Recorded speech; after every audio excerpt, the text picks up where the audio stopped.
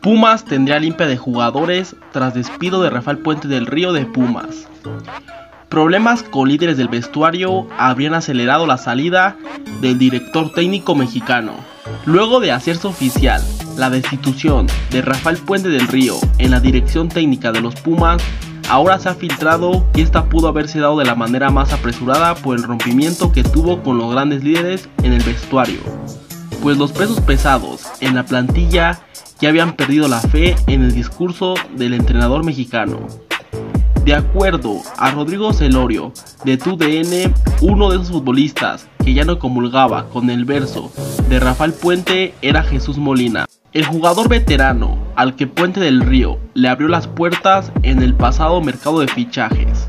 Precisamente, Molina sería uno de los jugadores que tendría sus días contados con Pumas, pues con la salida de Puente del Río se vislumbra complicado que la directiva renueve su contrato en verano.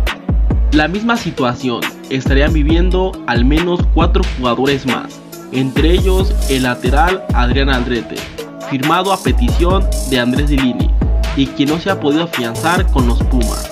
Juan Ignacio Dineno sería otro de los jugadores que daría por terminado su ciclo en Pumas, pues la directiva está en el límite de poder obtener ganancias por su venta, probablemente a Cruz Azul, equipo interesado en sus servicios.